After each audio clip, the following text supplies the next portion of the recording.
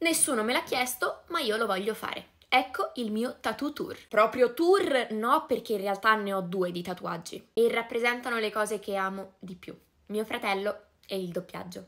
Con mio fratello ho fatto questo tatuaggio.